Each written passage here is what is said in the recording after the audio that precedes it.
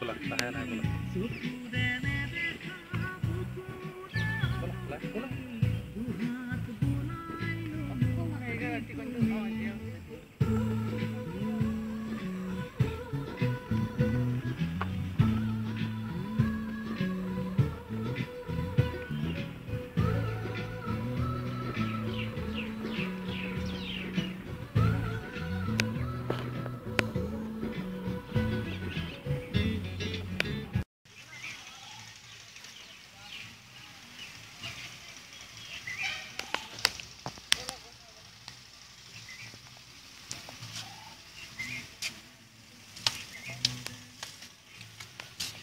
ওই রাস্তাটা কোন সারাদিন দিয়েছে